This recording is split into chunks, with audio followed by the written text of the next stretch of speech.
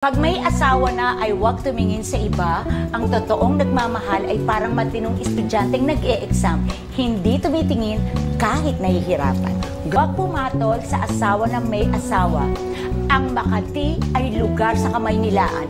Huwag ugaliin. Ito lang ay kamutin. Mag-adjust ka kapag nangangalabit si Mister.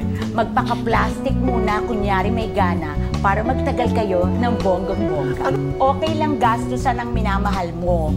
Pero pag ikaw ang laging gumagastos, isip-isip din dahil hindi tama ang magmahal ng mahal. Mga anak, huwag magjowa ng ayaw ni mommy. Baka lokohin ka lang o gawing sugar daddy o sugar mommy. Matuto kang pumikit kapag ikaw ay naiinggit kaysa naman laik ka ng laik, masahol ka pa sa pangit. Magsipag sa trabaho, maging mabait sa katrabaho, huwag lang juwain ang taken na nakatrabaho.